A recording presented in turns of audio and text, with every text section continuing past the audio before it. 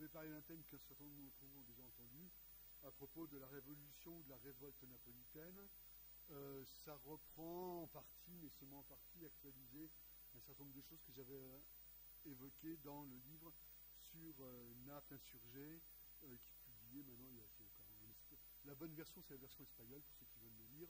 la version française, il y a des erreurs dedans, c'est pas grave. tout ça pour dire qu'aujourd'hui, j'ai proposé de, parler entre témoignages et engagement, raconter la guerre civile, relater la révolution à Naples.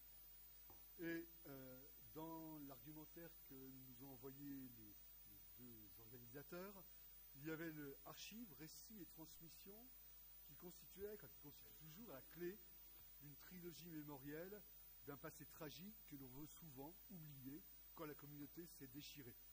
L'articulation de ces trois éléments, archive, récit et transmission, cette articulation est indispensable, je pense, à la sélection d'abord des événements, puis à la construction d'une narration historique. On le sait, du moins en théorie, les révoltes et les révolutions constituent des moments de tension, où la communauté se déchire, évidemment, tels que les protagonistes s'efforcent le plus souvent d'effacer de leur mémoire les traumatismes issus du déchirement. Pour cela, tous, tous les protagonistes, autorités comme insurgés, comme révoltés, s'efforcent de gommer les traces du passé. Il leur apparaît nécessaire, quasiment indispensable, d'éliminer les vestiges de quelque nature qu'ils soient, ces vestiges. Ceci pourrait témoigner et transmettre aux générations futures le souvenir d'une fracture communautaire toujours traumatique. Deux exemples connus, je pense. Le premier, ça avait servi d'affiche à la Casa Velasquez pour un colloque sur la mémoire. Ce portrait de cavalier sans tête, assez connu. On voit bien ici qu'effectivement, comment effacer la mémoire au sens propre. On y est, on efface la tête euh, du cavalier.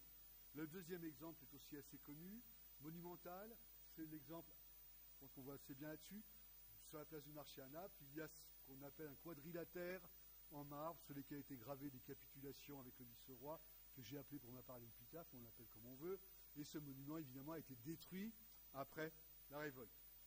De fait, on a l'impression que la faible quantité de sources qui traitent des déchirements communautaires est une évidence il y a une révolte, une révolution, une guerre civile, on veut l'oublier, ce serait l'évidence, tout le monde l'admet, le déchirement communautaire euh, impose une sorte d'oubliance, comme on l'a dit hier, si je ne me trompe pas. À plus forte raison s'il s'agit du camp des vaincus, les vaincus des insurgés par exemple. La volonté d'oubli, conjuguée bien souvent en plus à la répression politique ou à la répression religieuse, euh, je pense évidemment à Saint-Barthélemy, euh, aurait aboli toute trace des événements passés qu'ont fait les notaires, entre autres. Est-ce qu'ils ont effacé les traces? À mon avis, il n'y avait pas de traces, tout simplement. Mais bon, passons là-dessus. Comme toute évidence, ce constat d'une faiblesse des sources écrites est fausse, euh, et, ou du moins à remettre très très fortement en cause. Euh, en particulier pour la révolte que j'ai étudiée, la révolte napolitaine ou ce qu'on appelle la révolution de Naples. Alors je suis désolé pour un certain nombre de collègues qui connaissent par cœur cette carte, mais la révolution de Naples, ce n'est pas un Naples, c'est dans tout le royaume napolitain, il y a 12 province. Chaque petit point rouge, c'est une insurrection qui dure plus ou moins longtemps, qui peut s'éteindre, reprendre tel un feu, on le retrouve sans arrêt. Bon, j'insiste pas là-dessus, c'est une autre histoire que l'histoire de cette révolution. Ce qui nous intéresse aujourd'hui, c'est donc euh, archives, récits et transmission. De fait, à propos de cette évidence à remettre en cause de la faiblesse des sources et de la faiblesse des récits, euh, un historien napolitain, Saverio di Franco, a dénombré uniquement dans la ville de Naples, je dis bien la capitale, quelques 290 manuscrits qui racontent les dix mois de révolte. La plupart de ces manuscrits émanent de contemporains qui ont vécu les événements traumatiques de la guerre civile qui a déchiré donc non seulement la capitale, mais aussi l'ensemble des villes du royaume. Malheureusement, pour la plupart des villes de province, on a assez peu de, témoignages, non pas écrits, on en a des sources, mais il y a peu d'historiens qui se sont penchés. Personne ne part en vacances, je ne sais pas si elle est dessus, bien, mais bon, passons, etc. Euh, on, a des sources qui existent, un peu de Barry, je sais qu'il y a des sources, chez Ouesson, il suffit d'y aller 15 jours, mais bon, voilà, passons. Du moins, Saverio di Franco a bien ajouté en plus à ces originaux qu'il existe un certain nombre de manuscrits copies. On sait bien que le manuscrit n'est pas fait que pour un destinataire, mais il y a des copies. Et quand il a compté toutes les copies des manuscrits, 290 originaux, originaux, matrice, j'ai envie de dire, 450 avec les copies. De, fait, La plupart de ces récits comprennent plusieurs centaines de feuillets. Quand on travaille sur ces manuscrits, on a, alors que si vous regardez, je pense aux trois grands sur lesquels j'ai travaillé, ils font tous plus de 500 pages en police de caractère, 8 ou 10.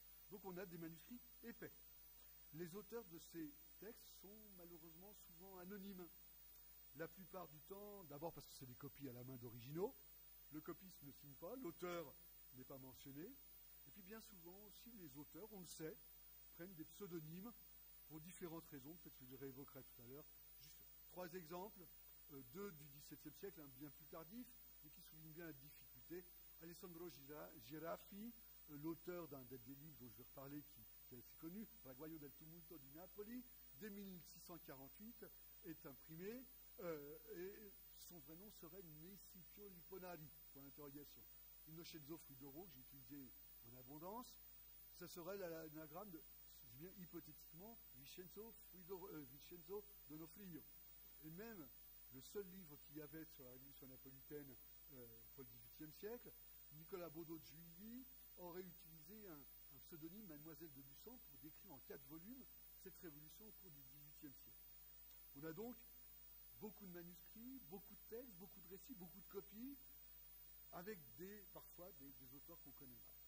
À ces nombreuses narrations de la révolution napolitaine, on le devine entre autres avec Giraffi, qui, va être traduit dans un grand nombre de langues, je reparlerai. Il faut ajouter les nombreux manuscrits et imprimés, livres imprimés, qui sont rédigés aussi par ou pour des étrangers. Certains de ces étrangers ont pu vivre et résider à Naples pendant les événements. Je pense par exemple au comte de Modène, qui est le bras droit du duc de Guise, qui est disgracié, ou je pense encore à quelqu'un que j'aime beaucoup, parce que ça vient juste d'être mis en ligne depuis un an, à savoir Sebastiano Molini. Alors là, j'ai pris, euh, c'est une capture d'écran, hein, je suis désolé, mais chaque feuille, on a le feuillet, on a le manuscrit, on voit qu'il y a des dessins, il y, a, plein de choses, j'en reparlerai un petit peu. Et Sebastiano Molini, c'est un Bolonais, Bolognais, excusez-moi, économe du couvent Saint-Dominique à Naples. Pour ceux qui connaissent Naples, le couvent Saint-Dominique, c'est sur la place San Domenico, il n'y a pas plus central. Et entre autres, il rédige et illustre un manuscrit de plusieurs centaines de pages qui maintenant est en accès libre. Mais il ne faut pas hésiter à le voir, ce sera un très très beau manuscrit, aussi bien dans les gouaches qui sont présentes que dans les imprimés qui sont aussi euh, là. Cette abondance de témoignages, là, ça, là, ça m'a intéressé de vous préparer aujourd'hui, je ne veux pas dire ce qui n'était pas intéressant avant, mais ce qui m'a particulièrement intéressé, c'est que cette abondance de témoignages, de, de récits, au début m'a beaucoup étonné, impressionné, parce que j'ai essayé de travailler sur les révoltes à Séville, à Cordoue, les internationales andaluzas, quasiment rien. La fronde normande, pas grand-chose. Au début, j'étais très étonné. Et puis, euh, j'ai eu la chance d'être en contact avec Domenico Cecere, euh, un historien napolitain italo, culturel français, enfin, culturel européen, excusez-moi, qui vient de produire un, qui produit en ce moment un travail important sur les récits d'événements surnaturels, prodigieux, monstrueux, qui ont eu lieu dans le royaume de Naples. Et ces événements monstrueux, prodigieux, surnaturels, sont extrêmement abondants. Alors, je, cite le, dernier bouquin qui vient d'être fait là-dessus. Euh, je ne le prononcerai pas en anglais devant des anglais, j'aurais honte, mais euh, on comprend tous le titre. Et effectivement, euh, Domenico Cecere insiste bien sur le fait que, que ce soit le tremblement de terre, le séisme de la région, de la province de Capitanata, 1627, que ce soit le réveil du Vésuve, qui n'avait pas connu une éruption pareille depuis Pline, en 1631, ou encore que ce soit la Grande Peste de 1656, tous ces éléments-là, qui sont des événements prodigieux, au sens incroyable, d'accord? Tous ces événements ont produit une foule de récits, de commentaires, véritablement, on peut dire, un, déferlement d'une littérature qui s'attache à décrire l'incroyable manifestation de la nature, séisme, éruption volcanique, monstre imaginaire, auxquels les auteurs s'attachent en permanence et attachent aussi un caractère magique ou un caractère divin, comme on veut, ou céleste ou, satanique, comme vous voulez, selon les interprétations, mais on est en, en, permanence dans cette lutte entre le bien et le mal, et les récits les intègrent sans arrêt dans leur narration. Ce qui m'intéresse en lisant ça, c'est qu'on est dans la première moitié du XVIIe. La révolution de Naples, du royaume dans son ensemble, s'inscrit aussi dans ces éléments-là. Euh, beaucoup d'éléments décrivent, les, beaucoup de textes, d'images, décrivent ce, ce, phénomène surnaturel de la même manière que la révolution de Naples est largement euh, renseignée. L'aspect prodigieux à Naples se produit aussi, a lieu. Un simple pêcheur napolitain, pauvre analphabète, et quasiment truand, une femme prostituée, etc., est le déclencheur et le conducteur d'une révolte qui ébranle l'un des royaumes, les Indes euh, d'Europe, comme on disait pour la monarchie espagnole. À cet égard, le manuscrit de Moligny, le manuscrit de Bologne, que je vous ai montré, ce manuscrit-là, euh, raconte la guerre civile, mais aussi s'inscrit dans cette histoire surnaturelle. Voilà par quoi commencent les deux premières pages de ce manuscrit Moligny. Il commence par l'image d'un monstre marin, d'abord dessiné à la main, à gauche, et puis en réalité c'est une, euh, gravure imprimée euh, qui est présente sur la droite, mais qui représente la même chose. On est ici en présence d'un monstre marin. Est-ce que c'est pour introduire le monstre de la Révolution, point d'interrogation, le monstre de la Révolution napolitaine Je n'en sais rien. Mais aussi, comment ne pas penser à la Bible, de la part de l'économe du couvent dominicain, qui évidemment connaît bien certainement les évocations du Léviathan, Léviathan, animal, symbole, euh, des animaux révoltés contre le Créateur. Qu'est-ce que c'est qu'une révolution Sinon, une révolte contre le Créateur, évidemment que le Créateur détruisit comme la révolution a été détruite. Comment ne pas faire le parallèle entre ce monstre marin euh, qui serait apparu sur la Vistule en 1627, 23, si je ne me trompe pas, année de naissance de Masaniello, etc. On va continuer là-dessus. Du moins, le royaume de Naples, dans, euh, du moins dans, le royaume de Naples, cette évocation, me semble-t-il, du monstre souligne l'intérêt des contemporains pour l'extraordinaire. Euh, une petite parenthèse, euh, comment ne pas penser non plus à un autre, monstre marin qui est présenté très peu de temps après, 1656, hein, si ne me trompe pas, Léviathan, 56, 51, 56 51 56. Voilà. On est exactement dans. Bon, on a le même monstre. Alors, je ne vais pas le détailler, on n'a pas le temps, mais on trouve les fusils, on trouve les écailles, on, trouve, on a un nombre. Est-ce qu'il faut faire un parallèle? J'en sais rien. Moi, ce qui, en même temps, me, pousse un peu, c'est. Je, pense qu'on à cette image célèbre dont on oublie, me semble-t-il, celle du Léviathan, bien souvent aussi le caractère eschatologique pour préférer y voir une préfiguration de la pensée politique moderne. Moi, c'est Alors, dans tous ces éléments-là, que ce soit les monstres marins, la révolution de Naples, le séisme, l'éruption du Vésuve, on a une abondance d'informations, une abondance d'éléments extraordinaires. L'anormal, l'accidentel prend le pas sur la vie ordinaire. Là, on, parle pas on, parlerait des massacres de la Saint-Barthélemy, mais pas des mariages. C'est logique, c'est la logique de l'information, simplement. La logique de l'information, on parle de tout ce qui va mal, de tout ce qui peut faire, c'est la logique des médias, dirait-on, de nos jours, bien entendu. Et la littérature, la communication, l'information apparaissent, me semble-t-il, singulièrement liées dans le processus narratif des déchirements de la communauté. Ces trois éléments sont étroitement liés. Dès lors, doit-on penser que cette effervescence des récits des deux décennies avant la révolution napolitaine, effervescence à propos des éléments surnaturels, cette effervescence préluderait à une révolution communicationnelle. Ça ferait un peu snob de parler comme ça, mais du moins, est-ce qu'on n'a pas un déferlement littéraire qui ébranle en même temps la société à propos de tous les événements surnaturels, miraculeux ou quoi que ce soit, au sein même du discours de la catastrophe, on peut dire une sorte de rhétorique de l'apocalypse qui serait déjà en route trois décennies avant la révolution de Naples, ou trois décennies avant la peste de 1756. Ce flux de récits répondrait donc logiquement et de manière massive à l'attrait pour le singulier, pour le fantastique, pour l'incroyable, pour ce qui ne devait pas, ou ne pouvait pas arriver. Ceci paraît confirmer aussi le fait que les sources écrites ne sont pas les seules à Naples à se multiplier avant même la révolution napolitaine. Parce qu'il faut parler de révolution visuelle, on va laisser Peter Burke et tout ça, mais euh, l'iconographie, moi c'est la chose qui m'a le plus étonné quand fait mon, bouquin sur Naples, c'est une iconographie des révoltes. D'habitude, on n'en a pas. L'iconographie abonde aussi sur la révolte, mais comme par hasard, ça abonde aussi sur les séismes et les éruptions volcaniques. la thèse de Karen Dutrecht, qui a été soutenue il y a 4-5 ans, en histoire de l'art, qui nous montre la multiplicité des images du Vésuve. Tout le monde est passionné. même chose pour les écrits, hein, bien entendu, mais on a vraiment une richesse des sources, qu'elles soient iconographiques ou textuelles, avant même la révolte, et que la révolte, est-ce que la, c'est une hypothèse, hein, est-ce que la révolte les prolonge, est-ce qu'elle s'inscrit, etc.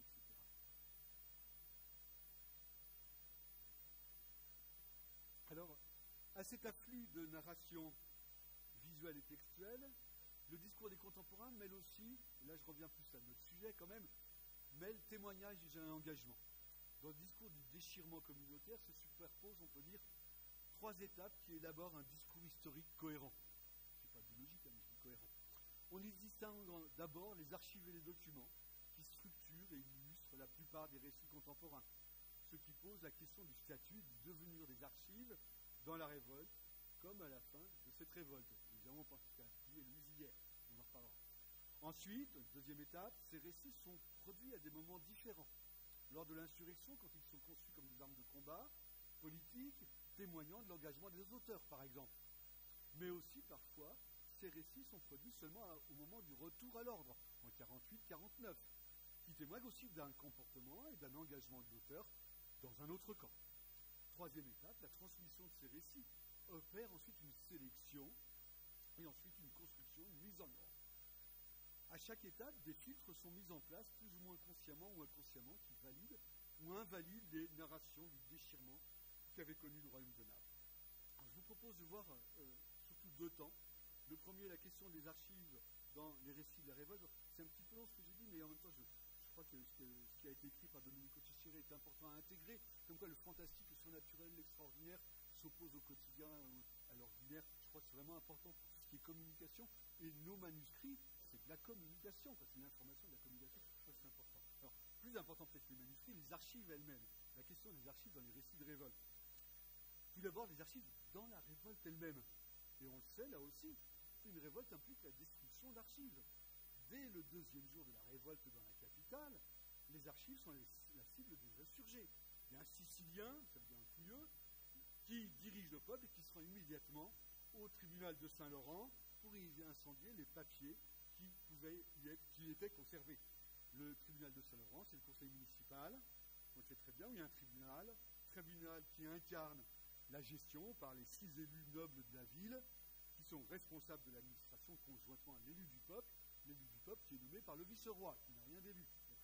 Et évidemment, ces archives représentent le pouvoir de cette plèbe en marche. Ces archives du tribunal de Saint-Laurent sont été incendiées dès les premiers jours de la révolte, certainement comme incarnation du pouvoir aristocratique, responsable des finances, responsable de la nonne et du ravitaillement, de la police urbaine, etc.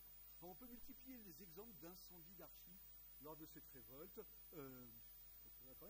Euh, un exemple, euh, le secrétaire du royaume, qui s'appelle Giovanni Angelo Barile, conserve les archives de la chancellerie depuis Alphonse V Magnanime. Et qu'est-ce qu'on voit? Elle contenait les écritures royales pour les biens féodaux, pour les provisions du collatéral. Je, cite un, des mémoires les lettres royales, les concessions monarchiques, les ventes des offices royaux, les patentes des offices royaux, les approbations épiscopales quand elles dépendent du vice-roi, ce qui est pas souvent, les bénéfices royaux, les et autres écritures du privilège gratuit, etc. Vous m'avez compris, des archives de chancellerie qui sont extrêmement riches. On les incendie, effectivement, c'est un partisan de la révolte qui le dit, donc on peut le croire, je crois, en grande partie.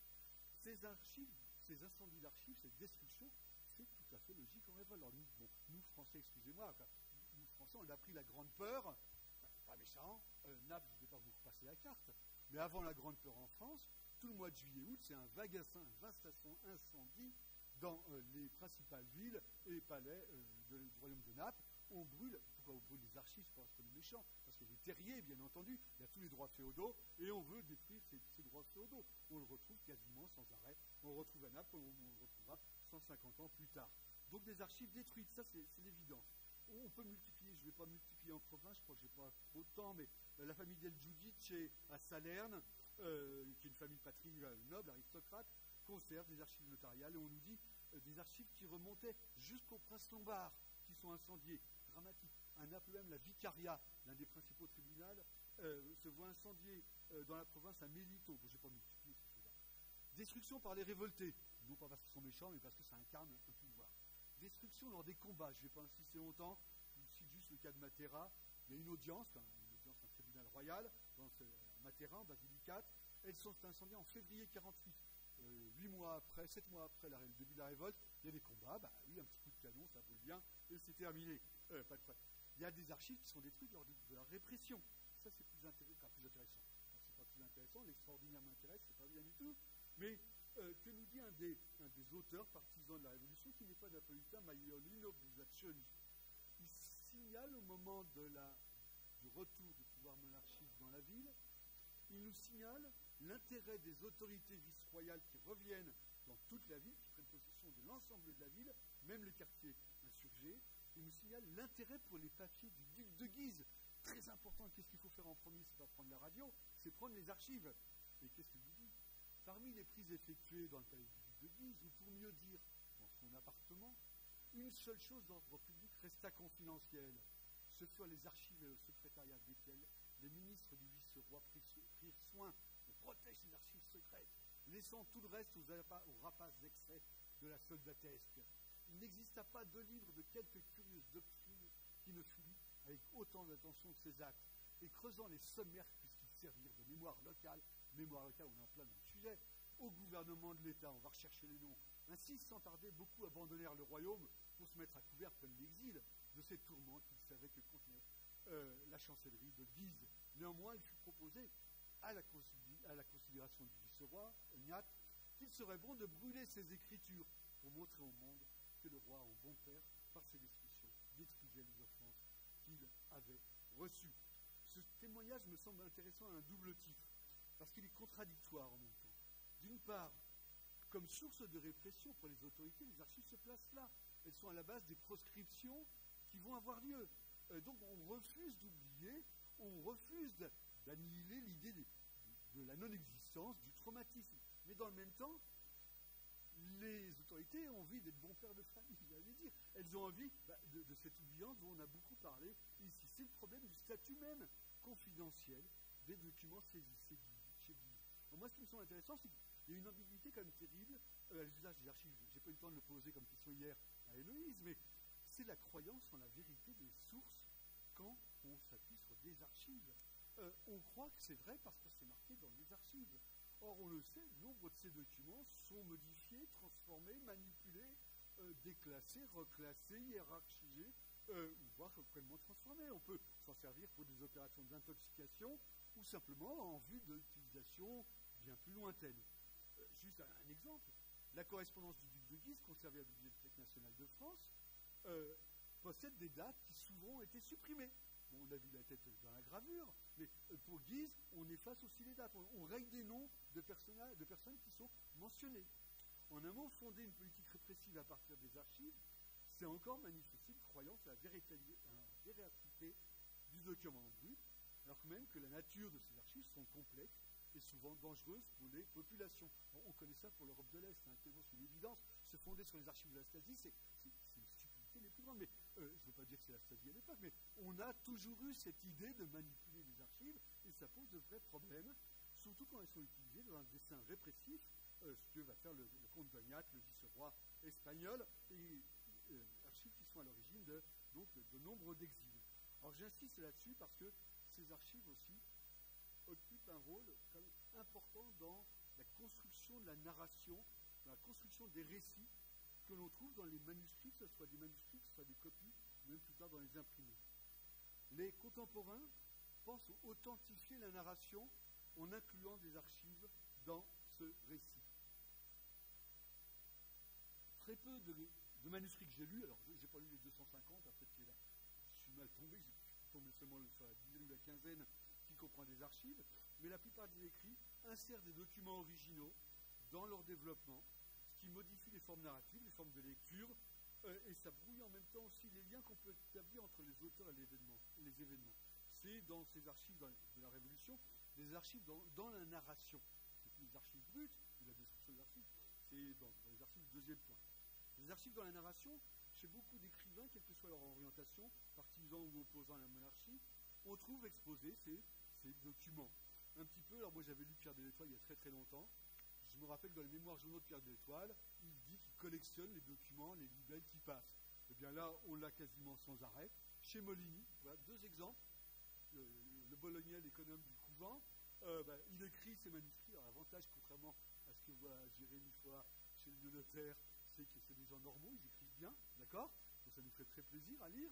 Euh, mais on voit ici qu'on est au début de, de, de, dimanche euh, 14 juillet 47, euh, huitième journée de révolte, euh, au nom de Dieu. Puis là, on voit le peuple, le roi, la Vierge au-dessus. On a tout ce qu'il faut montrer. Alors, il a collé, tout simplement, un, bandeau, une ordonnance, une proclamation, euh, au nom de la pas Deuxième exemple, là on est le, jeudi, 14, le jeudi 12 mars 1648, euh, la journée, je ne sais plus combien, Henri de Lorraine. C'est-à-dire qu'on a changé de la République. Vous remarquez qu'ici on retrouve ces choses-là, Henri de Lorraine, père de France, etc.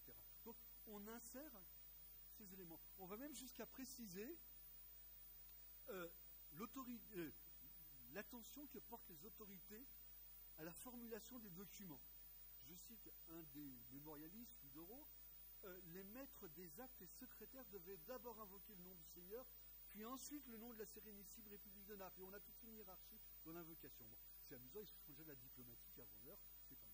Il existe donc une claire volonté d'authentifier les récits par l'insertion de documents originaux. Euh, on veut authentifier, c'est pas pour autant que le document original trouve beaucoup plus. Certains, peu nombreux, trop proches des événements, trop éloignés du terrain, s'en dispensent, mais c'est assez rare. Souvent, ils sont du côté royaliste, ils sont souvent même pas témoins sur place, donc je laisserai un petit peu de. Deuxième élément dans, l'exposé, sur les récits entre engagement et témoignage. Après les archives, je pense qu'il y a un rôle fondamental de l'archive, ça permet de mettre en place euh, le récit, mais le récit il est conditionné par l'engagement et par le témoignage. Entre engagement et témoignage, et ce qui m'a frappé, c'est qu'on a des témoins engagés des deux bords. Et particulièrement proche de l'événement. Je crois que l'un des personnages les plus connus, c'est euh, Giuseppe Donzelli, que vous voyez ici. On voit son nom, on voit euh, la première page, le titre. Et il a écrit une Parthénopée libérée, la, petite sirène qui incarne Naples, libérée évidemment de la domination espagnole. C'est l'une des personnalités les plus remarquables de l'époque. Il est renommé bien avant la révolution napolitaine par des ouvrages d'érudition historique, mais aussi scientifique. Il est médecin, disciple de Bartoli, euh, utilisateur du thermomètre, hein, euh, façon issu d'une famille noble et qui a réalisé un nombre d'ouvrages, dont un exemple juste avant la Révolution, sept ans avant, je crois, oui, c'est ça, ou cinq ans avant, il fait euh, l'antidote napolitaine et on, a un certain nombre de conseils, je passe là-dessus. Ce qui est intéressant, c'est que ce, de nos jours, dirait ce scientifique, ce membre de l'élite sociale quand même, se range avec enthousiasme du côté des rebelles et les autorités révolutionnaires lui confient, avant même qu'il soit le de Guise, on lui confie le soin de rédiger une histoire de la révolte. Et sa mission illustre, me semble-t-il, la préoccupation des révoltés de diffuser très rapidement un discours autonome sur le nouvel ordre qu'elles veulent établir. Doncelli termine sa parthénopée libérée, son livre qui relate la révolution de juillet jusqu'à octobre. Euh, il le termine en novembre 1647 euh, il y a une dédicace de, Guise en 20 novembre et ça ne sort qu'en février des presses. Du moins, on a ici la première relation des événements révolutionnaires in vivo, hein, euh, quasiment au direct, on peut dire, en exactement. Alors ce qui est intéressant, c'est que c'est un témoignage. C'est un récit, mais c'est aussi un témoignage de la part qui a une formation intellectuelle relativement élevée. Que nous dit Donzelli, qui participe personnellement les armes à la main au combat? Dans la presse, introductive, il me dit, je l'ai recopié, bah, je l'ai répété, il écrit qu'il avait dit, je cite, sans remettre à la discrétion du copiste et des imprimeurs, mettant trouver toujours les armes à la main. D'accord? Euh, De fait, c'est. Alors, on a supposé que c'était une histoire officielle du côté révolté.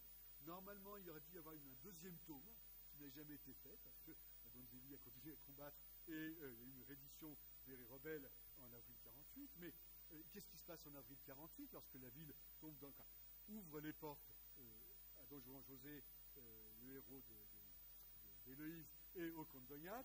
Eh bien, Donzelli, pour obtenir son pardon, doit remettre tous les exemplaires qui peuvent être en main, et très rapidement, à l'été 48, s'enfuit pour Rome, ne revenant à Naples que bien plus tard. Alors, j'ai découvert entre-temps que Donzelli a tout un tas de rapports, c'est passionnant, il y a un jeune historien qui s'appelle David Boerio, je ne sais pas si vous connaissez, qui écrit sur la circulation de l'information dans la révolte de Naples. Il nous montre comment à Rome, les frères Dupuis, deux frères Dupuis sont à Paris, mais il y a Christophe Dupuis qui est à Rome, et comment Christophe Dupuis voit Donzelli, il l'accueille, a des intellectuels, c'est la République des lettres, entre guillemets, comment il l'accueille, comment il accueille Coutini, comment, euh, Coutini qui est à Rome, mais qui un attentat, on ne va pas raconter toutes les péripéties, mais on est vraiment avec des acteurs engagés dans cette révolte et, la chasse en même temps aux témoins a lieu. Alors, euh, on en a déjà parlé dans un autre colloque, cette chasse aux témoins, euh, mais bon, ce n'est pas le but du jeu. Euh, du moins, tout le monde a à peu près connu cette chose-là. Alors, troisième acteur, me semble-t-il, j'ai mis une diapo, D'autres sont engagés. Je vais passer sur Donzelli, on n'a pas le temps. Camillo Tutini, un académicien déjà âgé, euh, membre de l'Académie des Oziosi, comme bon nombre de personnes. Prenons plutôt un royaliste, le Capecelatro, Francesco Capecelatro, qui est aussi assez connu. Il y a un livre qui vient de sortir, quoi, ça fait 10 ans, il est sorti 8 ans, qui est sorti sur l'écriture de l'histoire par Francesco Capecelatro, qui est un noble, un aristocrate, mais qui, a perdu sa noblesse au début des années 70 et 120, qui, a, un beau mariage, redevient noble, s'oppose au vice-roi, est exilé, est rappelé par le vice-roi, et à la fin, il s'engage du côté royaliste. Il écrit un manuscrit important. Euh, il a obtenu un habit de Santiago, comme de Philippe IV, quelqu'un de reconnu. Il s'engage dans le parti, il participe activement au combat dans les Pouilles, c'est en province, en particulier dans les Pouilles, en Calabre, au point d'être nommé gouverneur de la province de Calabre-Citra. C'est quand même pas pour, pour les troupes monarchiques. Là aussi, on a un témoin engagé. À la différence de Donzelli, son témoignage, lui, n'est pas publié. Il restera inédit jusqu'en 1850, publié par, euh, j'avais pu retrouver le nom de, l'éditeur, mais on est dans l'ambiance du royaume de Naples qui est en train de se défaire, et bon, plutôt une interpellation euh, contre-révolutionnaire, la révolte, mais c'est pas. La question qu'on peut se poser maintenant, pourquoi ces témoins engagés, qu'ils soient royalistes ou révolutionnaires, écrivent-ils? Ils n'écrivent pas uniquement, contrairement à ce qu'on peut penser, pour légitimer leur action. Bien sûr, hein, on a toujours besoin d'expliquer pourquoi on est là. Mais ils ne font pas que ça, ils ne cherchent pas à expliquer que leur comportement ou condamner les adversaires. Il y a des motifs personnels qui jouent un rôle important. Je pense par exemple à Agostino Nicolai qui précise dès le mois de juin Moi-même, je ne peux écrire cette histoire sans des larmes de sang, plaignant l'humaine infélicité. Et il souligne le caractère tragique de cette communauté déchirée, de cette insurrection, et même son évocation euh, et la, difficulté d'écrire même, quoi, de réévoquer bah, les atrocités qui pendant, la guerre civile. De ce côté, l'unique adresse au lecteur introduisant le manuscrit euh, de Fluidoro nous dit aussi qu'il écrit, quoi. Fluidoro écrit, il dit Aimiei, c'est pas édité, ça a été édité en, 2000, la fin des années 90 au début des années 2000. Fluidoro, il, écrit J'écris Aimiei posteri, à ma postérité, c'est pour mes enfants, d'accord? Mieux qu'un péché latro qui est, alors ça, on en faire l'omelette de la contre-révolution le plus réactionnaire, que nous écrit-il au début de son ouvrage J'avais jugé qu'il serait utile de laisser à ma postérité, une chose, la mémoire fidèle de ces événements pour le renseigner à tous, afin que, en mettant un frein à l'habilité de commander de la part d'un gouverneur, mettre un frein à l'habilité de commander et à la cupidité d'amasser de l'argent qu'on connaît l'aristocratie napolitaine, se retrouvant face à de tels événements, ils apprennent, c'est une leçon à donner aux élites, qu'ils apprennent dans d'autres circonstances ce que c'est de, réduire à l'ultime désespoir un peuple si nombreux, et par là briser le frein de la sainte justice qui fait que chacun reste à sa place. En un mot, il faut les gilets jaunes quasiment. Hein. Ce qui est incroyable de la part d'un gouverneur royaliste quand même. Il explique que c'est la misère du peuple qui a introduit la révolution. Euh, Burke ne le dira pas ça. Dans cet avertissement, donc Capéchélatro dépasse le point de vue partisan et s'efforce de donner une portée morale à son journal. Je vois qu'il me reste trois minutes. Euh, autre question, euh, comment transmettre euh, Le problème de la transmission soulève la question de la réception des textes. Les manuscrits abondent, est-ce qu'ils ont été lus? Combien de copies y a-t-il eu à chaque récit? Quels ont été les plus célèbres du moment? On sait bien que ce n'est pas les mêmes selon les époques. Des questions, des réponses à ces questions, non pas des questions à ces réponses, des réponses à ces questions permettraient de mieux connaître la transmission des récits du déchirement de la communauté napolitaine. Et si on ne peut connaître la diffusion des manuscrits, bien que leur nombre donne déjà une idée de l'écho importante qu'ils reçurent, un regard vers les imprimés autorise quelques pistes, bien qu'une ordonnance du collatéral, le gouvernement du vice-roi et du royaume de Naples, renouvelle dès le mois de juin 48 l'interdiction complète de publier des ouvrages sans licence. Je vous l'ai dit pour Donzelli, il faut brûler ces ouvrages, euh, et puis tous les ouvrages qui ne sont pas sont interdits. Néanmoins, euh, malheureusement il est un peu petit, je suis désolé, euh, ce tableau dresse la liste des ouvrages publiés dans les 15-20 années immédiatement après la révolte. Si vous regardez bien, il y a, ici, il y a 13 ouvrages, à part celui de Nicolas qui était 160, il y en a un autre qui était 170, de parti. Quasiment tous sont dans les 4-5 années qui interviennent. 13 ouvrages dans les 4-5 années qui sont publiés aussi bien à Lille, Padoue, Amsterdam, Venise. Alors, Mantoue, c'est pas Mantoue, c'est Mantua Carpetana, erreur en français que j'ai vite corrigée. J'espère que les Hispanistes sont pas relever. Bon, on ne va, pas multiplier toutes ces choses-là, mais on le retrouve. En un mot, on a une publicité, au moins par l'imprimé, surtout quand on sait qu'à côté de ça, le seul Giraffe dont je vous ai parlé a eu huit éditions. Alors, je dis un livre, mais c'est un livre, mais combien d'éditions derrière? Giraffi est publié, huit éditions italiennes, Venise, Gaëté, Naples, Ferrar, Padoue, Gênes, etc. Je ne vais pas faire toute l'Europe là-dessus. Je laisserai David Boyerio travailler sur la diffusion, mais on a un écho colossal là-dessus. Enfin, pour les réussites imprimées, donc on relève qu'ils sont nombreux avec le fait de témoins engagés. Et ils suivent tous aussi en même temps des modalités de narration presque identiques. C'est ce qu'on a vu hier, si je ne me trompe pas, euh, avec Maïté, qui, disait qu'ils étaient formatés de la même manière. Usage des archives, on l'a vu.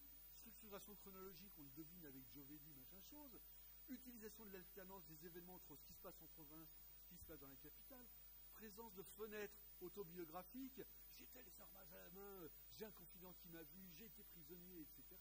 On retrouve la même modalité de la narration. Alors, je ne vais pas revenir sur ce qui m'a le plus étonné en préparant cette communication, à savoir que l'extraordinaire de la Révolution s'inscrit dans un extraordinaire plus global, et cet extraordinaire fait partie, je pense, effectivement, de cette révolution intellectuelle qui est à la fin du XVe siècle, où on a une révolution visuelle et textuelle, et là on est en plein dans cette masse. Alors la question c'est pourquoi à Naples et pas ailleurs, ou pourquoi pas dans le sud de l'Espagne, ou pourquoi pas même pour la France, mais c'est pas ça ma conclusion. Ma conclusion c'est quand la communauté se déchire, même quand la communauté se déchire, les déroulements du récit suivent des voies similaires, soulignant le partage d'une culture commune, fort logiquement, de la part des témoins engagés, que ce soit dans le camp euh, royaliste ou dans le camp euh, révolutionnaire. Je vous remercie.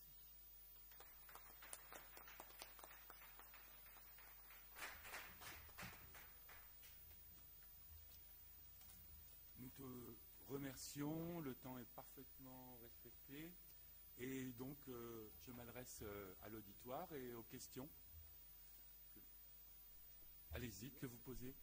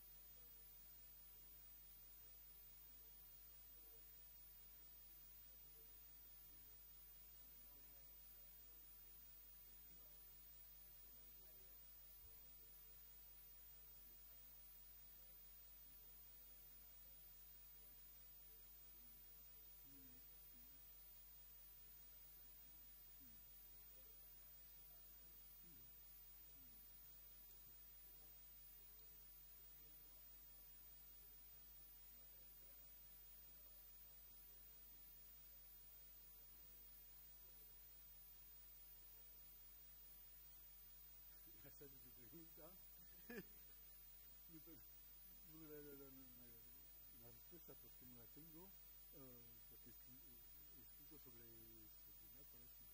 sobre de la revolución, pero luego pues, eh, hay un libro de, de Galasso, Napoli dopo Massariello, no parece nada dentro, uh, no sé si da, ha, dicho, ha dicho algo sobre Ida Mauro, ha dicho algo sobre este tema, no sé, yo no lo sé. Me parece que la, mejor cosa que hacer es que ver las historias de los, de los feudos particular. Eh, al libro de Michel Beneteau, por ejemplo, ha estudiado una, una familia, una social durante cuatro siglos. Eh, con este, una pequeña familia. Yo sé, por ejemplo, en el caso de Michel Benito, yo sé que fue, fueron destruidas la, los archivos, sí, pero no me fui a ver lo que pasó después. Sí, el siglo XVIII. Sí. Sí. Sí, pero es el, es el siglo XVIII. El problema también, no sé, pero la, la, la nobleza napolitana es una nobleza muy, así, no sé dónde, tiene siempre dos, eh, dos lugares. La casa señorial de la ciudad, la casa el palacio, la casa señorial. Así, no, no, no sé, pero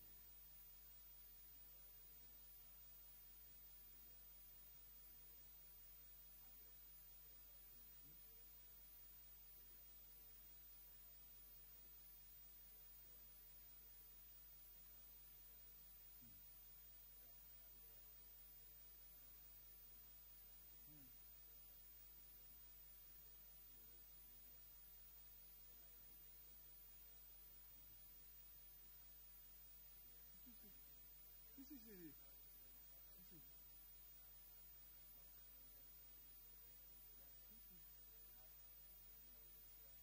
Mm.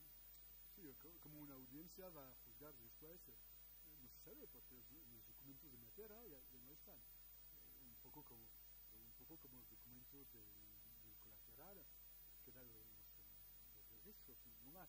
Después hay que buscar a otro lado, que es una cantidad. Pero casi todos los, los- los testimonios eh, subrayan que es una pérdida. Casi todos, porque casi la gente que escribe eh, es gente que, que, que es muy educada. Es decir, que eh, un archivo es muy importante para Tutini, que está a favor de la revolución y todo eso. Pero la gente lo piensa. Pero,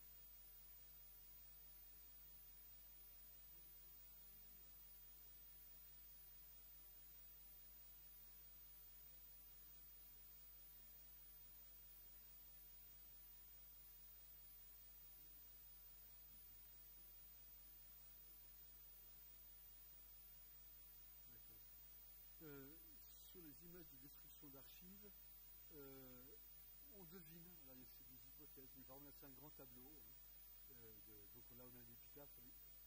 Pardon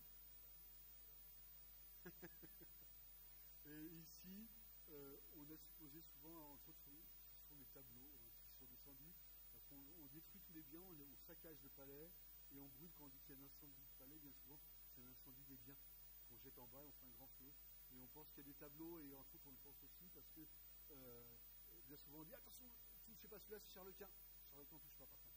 Par contre, c'est Philippe IV, ça dépend quel moment, on y touche ou on n'y touche pas. Euh, on, pense qu'il y a des. En même temps, il y a, il y a des, peintures alors, qui, nous montrent des peintures dans la rue. hein. Donc, il y a des images, c'est pas des archives. Mais c'est des l'image. L'image est quand même présente dans l'image à, plusieurs reprises. Je pas de très nombreuses reprises, mais à plusieurs reprises, on l'a là-dessus. Destruction pure des archives en image, euh, enfin, une iconographie de la destruction des archives, ça n'est pas pur, euh, à, moins qu'on veuille voir les tas qui sont amassés derrière, comme étant aussi des livres, des meubles. On est sûr qu'il y a des meubles, on est sûr qu'il y a des peintures. Est-ce qu'il y a des livres? Oui, il y a des bibliothèques qui ont été détruites. Il faudrait chercher ça, je n'ai pas été chercher. Je suis sûr qu'il y a des bibliothèques, mais ce n'est pas des archives, c'est des bibliothèques. Donc je ne peux pas, fermement, je ne peux pas répondre. Euh, il y a beaucoup de choses que je ne peux pas répondre. Sur les livres de raison, j'avoue que je n'ai pas, pas été en chercher, les, les marchands ne m'ont pas intéressé, je veux dire c'est comme ça, on ne peut pas tout faire. Euh, sur l'alphabétisation, c'est une bonne question. La place, du moins la, place de l'écrit, quand même, euh, mais, comme en, dans. Qu'est-ce que j'ai fait dernièrement? Oui, ça y est, c'est bon. Comme pour les cas, je pense à ça, pourquoi je pense à l'écrit qui est important, mais je pense aux émigrés espagnols qui partent aux Indes. L'écrit est central. C'est vraiment, c'est le vecteur de toute communication, mais ça ne veut pas dire que ça vire. Hein, c'est pas un problème, je crois que c'est vraiment pas un problème. Euh, oui, l'écrit est très présent. En même en, en italien, on a les togati, euh, en espagnol, on a les trados, c'est les juristes. Mais la valeur des études est énorme quand même. Tous ceux, les témoins dont je parle, quasiment, sont tous juristes. Hein. Ont tous fait des études et même les nobles. Donc, c'est ordinaire. Mais est-ce que ça veut dire qu'il y a une alphabétisation plus importante? Alors, si je crois que j'ai ça dans. Un lexique napolitain, je peux te donner la réponse plus précisément si je m'en souviens plus. Mais euh, je pense surtout c'est que l'écrit, moi, ce que j'apprends maintenant aux étudiants, euh, non, l'analphabétisme est peut-être présent, mais l'écrit est omniprésent, c'est évident, c'est évident, c'est flagrant. Puis, tous les, bandits là qu'on a vus, les ordonnances, les décrets, qui sont affichés dans les rues, on les arrache, on les collectionne, on les prend. Enfin, je pense que c'est vendu comme une à acheter des choses dans la rue. C'est bon, une toile, je pense qu'ils connaissaient. Pour l'alphabétisation, je pense que les prix, je pense que c'est là-dessus. Et puis, euh, non, euh, tu n'as pas bien compris l'articulation, et c'est parce que moi, je n'ai pas bien compris non plus. Euh, si j'ai compris quand même, parce qu'il y, y, a un tableau, une, de Nico Spadaro, de Nico Gargiulo. Alors, je ne l'ai pas remise ici parce que je crois que Manuel doit avoir ras-le-bol de la voir. Je crois que j'ai dû faire au moins 3 ou 4 conférences avec la SONAP, donc tu vas voir à chaque. Hein J'aurais dû me mettre. Attendez, bon, hein. tableau, j'ai plus, il faut regarder dans le bouquin, mais ils font, euh, je sais pas, 4 mètres 50 sur 3 mètres 50. Un, euh, le séisme 1631, la grande procession avec l'évêque à la tête, etc de la Révolution, même dimension, strictement la même dimension, même peintre. Et trois, la peste. D'accord On est ici dans le déroulement de l'extraordinaire ou de la catastrophe, je ne sais pas comment dire. si je suis anti-révolutionnaire, ou, quand, je lis ce que écrit Philippe à Maria de Agreda, oui, on est dans l'événement, le, le, cataclysme, le cataclysme qui ébranle la communauté, etc. Je. Et moi, ce qui m'a étonné en lisant Titiere, c'est que ça ne m'a pas étonné parce que je savais déjà, mais j'y avais jamais pensé. Grâce à vous, j'y ai pensé. Je ne sais pas si c'est bien, mais euh, c'est qu'on voit qu'il n'y a pas que pour la révolution. C'est pas moi, moi révolutionnaire. Non, c'est pas la révolution. C'est tout événement fantastique. C'est l'hypothèse que j'ai émise, parce que je, pourquoi il y a autant d'images à Naples C'est une bonne question, mais il y en a plein sur. Euh, quand Karen Dutrecht a fait sa thèse uniquement sur les images, les peintures sur l'éruption du Vésuve. Euh, au XVIIe, hein, uniquement au XVIIe. Et sa thèse, une 1500 pages, des trucs comme ça. Bon, euh, et là, Tchétchéry nous dit la même chose pour les écrits. Et comment, euh, 1627, 1631, 1788, je crois. Voilà. on retrouve cette même abondance, et moi, ça m'a surpris. Et donc, je me suis posé la question est-ce qu'en réalité, ces archives, ces, récits, ces manuscrits ne sont pas liés en réalité non pas tellement à la Révolution, ça a détruit mon bouquin, tant pis pour ça, mais euh, c'est plutôt lié effectivement à, d'une part, euh, un intérêt pour l'extraordinaire, hein, je dirais, on peut voir plus de paramètres à l'époque, et puis surtout, euh, on est dans une société en pleine mutation par rapport à la diffusion d'informations, de l'écrit, de l'image et compagnie. Alors, c'est plus vaste encore, mais tu vois l'articulation, c'est ça qui m'a étonné. C'est pour ça que j'ai, ça m'a vraiment intéressé de préparer la communication. J'ai fait pas plus réfléchir, j'espère.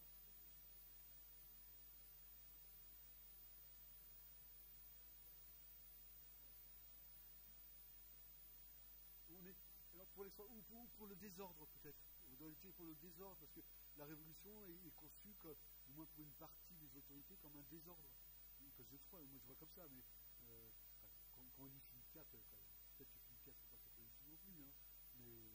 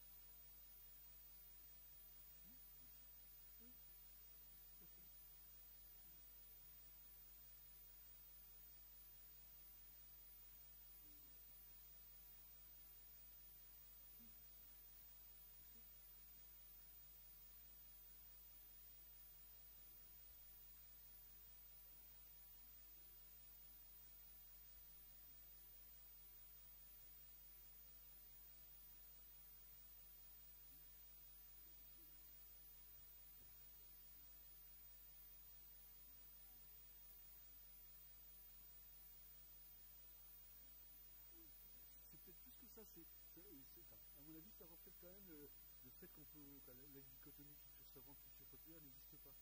C'est-à-dire qu'on voit un Toutini, par exemple, c'est quand même un intellectuel fantastique, il écrit sur les, éruptions du Vésuve, et l'extraordinaire existe, l'irrationnel existe pour ces intellectuels.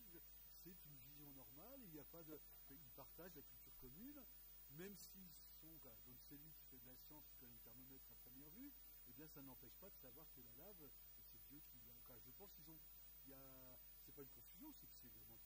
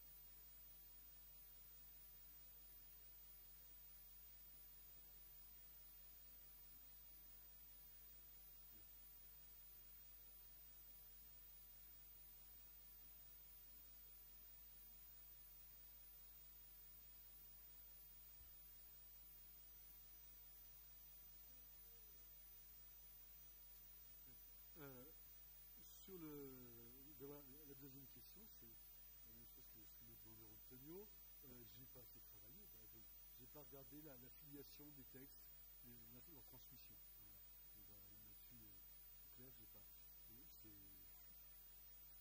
On m'attrape parce que c'est des bouquins trop gros, donc je peux pas. non. Euh, non, non, je blague en disant ça, mais c'est vrai que j'ai pas, j'ai pas. Il faudrait faire ce travail-là, c'est important ça. Mais je l'ai pas fait, donc je peux pas pas trop dire là-dessus. Si, il y a l'exil quand même qui a un rôle fondamental, hein, euh, surtout pour, l'époque.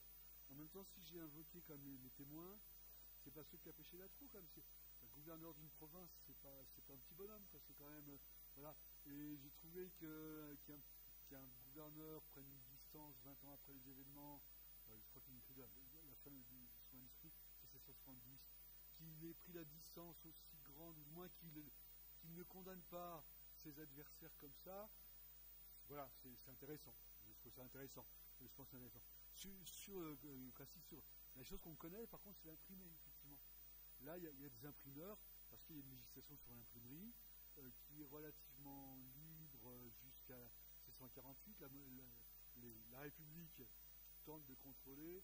Il y a quelques, je crois que j'ai quelques choses là-dessus, sur les imprimeurs de la République. Hein, je crois que c'est crois, comme ça qui est l'imprimeur euh, de Naples, des, révolutionnaires, mais on trouve d'autres, d'autres, d'autres imprimeurs là-dessus. Mais il faut attendre surtout le retour à l'ordre, et là, le retour à l'ordre de l'enseignant, euh, oui et non en même temps, parce que c'est vrai qu'il y a une forte répression, mais par exemple, on n'utilise pas de hein, euh, il a le temps de s'enfuir, euh, d'autres ont le temps de s'enfuir, même si on compte en dizaines de milliers les gens qui s'enfuient du, du, royaume. Et c'est pourra revenir dans les années 70, c'est pas du tout intéressant c'est pour dire quand même que euh, même les pires répressions, puis les individus quand même avec des violences, des individus importants. Donc euh, je ne réponds pas complètement à tes questions là-dessus, mais nombre de ces manuscrits, c'est pas des manuscrits dormants, hein, et on ne sait pas quel manuscrit on prend. Si je commence à travailler avec le de Naples, euh, j'ai pris les manuscrits et puis j'avais déjà vu euh, des rose, mais. C'est la même chose, non, il n'y a pas la même chose. Il y a des, a des copies de fragments, des fragments de